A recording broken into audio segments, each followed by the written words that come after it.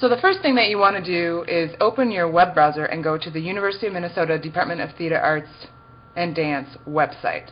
It's easy to remember, either dance.umn.edu or theatre.umn.edu.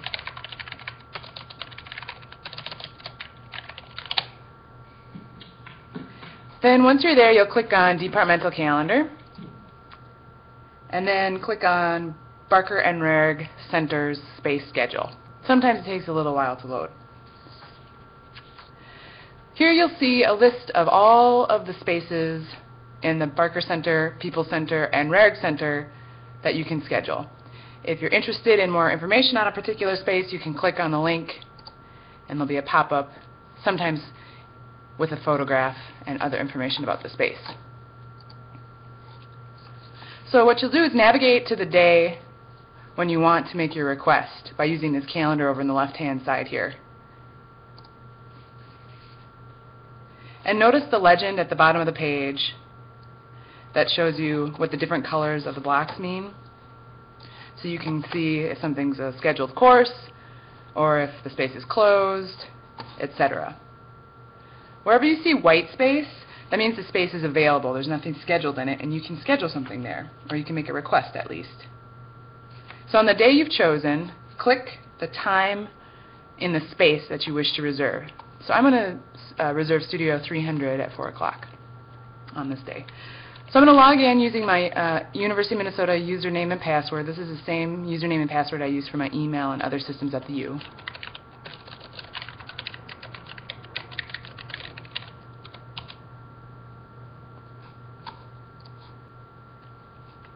And you have to fill out, as you can see here, all the fields that are labeled with red. So in the event name, you're going to describe what your event is, and in the Barker Center, usually this is your first and last name. Choose an event type that best describes what you'd like to do. Some common ones are rehearsals or meetings.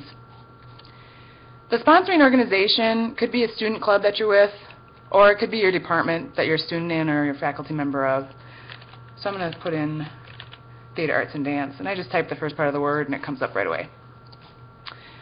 You'll type in your expected head count of how many people are going to be at your activity, and you'll see here that the start and end date and time are defaulted based on what you selected in the white box that you clicked in the previous screen.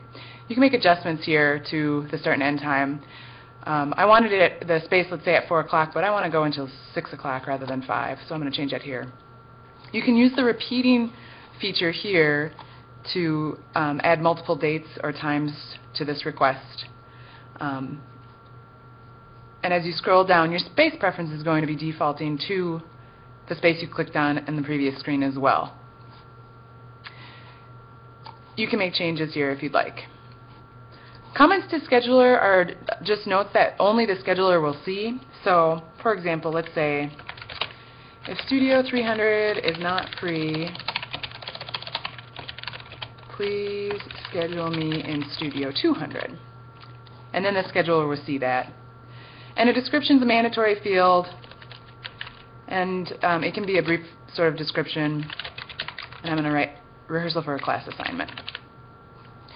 I'm going to click here. I understand as a requester of this event, my contact information will be viewable on the departmental web viewer, and that's simply a privacy measure so that you're agreeing that your information is essentially going to be public. Click on the Next button, and then you'll see a summary of your request. If you need to make changes, you can go back to the previous screen by clicking Make Changes. Otherwise, you submit your request. And then up here it says Event Request Confirmation.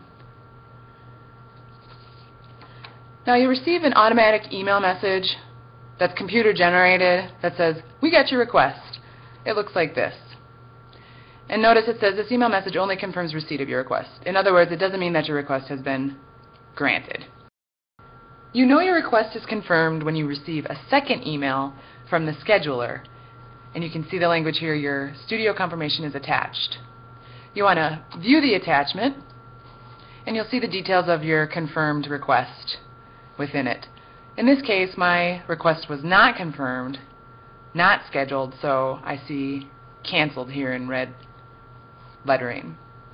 Normally what you would see is the space details underneath the time information here. What you'll want to do is print your confirmation and have it with you when you use the space. So in case there are any questions during the time you're using space, whether it's security or another person who thinks that they have the space reserved, you'll just want to have your schedule, your confirmation with you. And that's it.